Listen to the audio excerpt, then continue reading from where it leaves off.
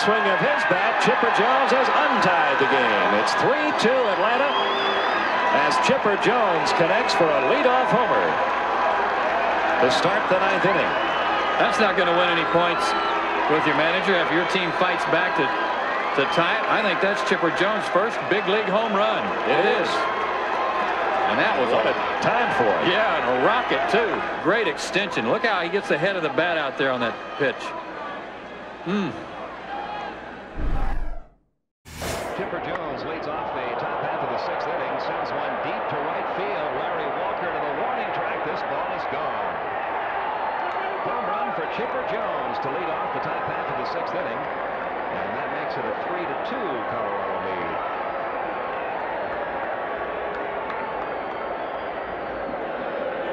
He jumped on the first pitch from Kevin Ritz.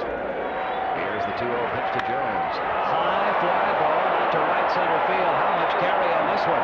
Back to the wall does Kingery. Chipper Jones has connected for his second home run of the night. And the rookie from Jacksonville, Florida has just given the Braves a 5 to 4 lead. Two home run night for Chipper Jones. Chipper Jones had a single his first time up. Baldwin's 2-0 pitch. Hit in the air toward the gap in left center field and carrying pretty well, and this ball is gone.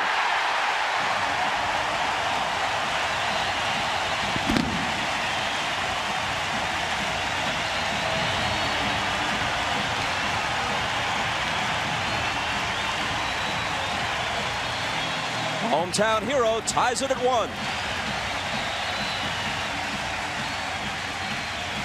Bob, I believe that most hitters now are better low ball hitters because they're lifting.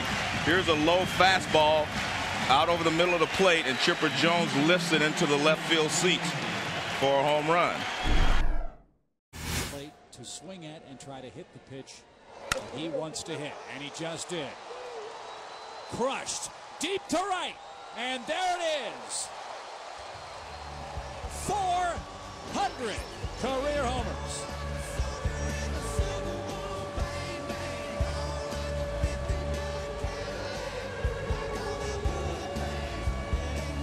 Those people were prepared for something tonight. You knew what was coming. And just as it's coming out of your mouth, Chip, he got a pitch to hit. And that lucky fan caught it.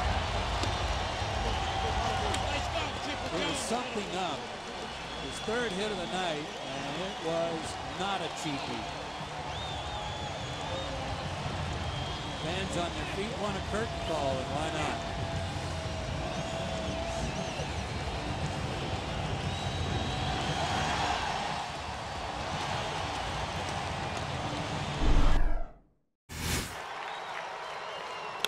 Swing, high fly ball, built to right center, and the Braves have won it!